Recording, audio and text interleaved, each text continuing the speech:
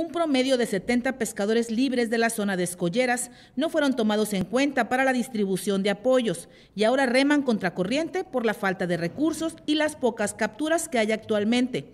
Piden al gobierno federal un censo real de los pescadores que requieren apoyos. Eso es lo que queremos nosotros.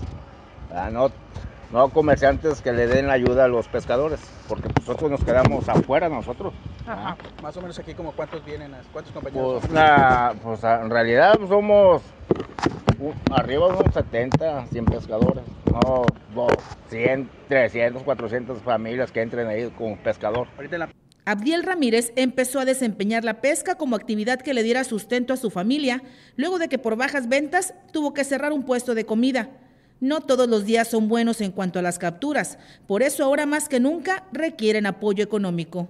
De hecho, nosotros éramos comerciantes, pero pues, como nos había que todas las rentas, todo eso, de local, comercial, pues fue el motivo que nosotros cerramos.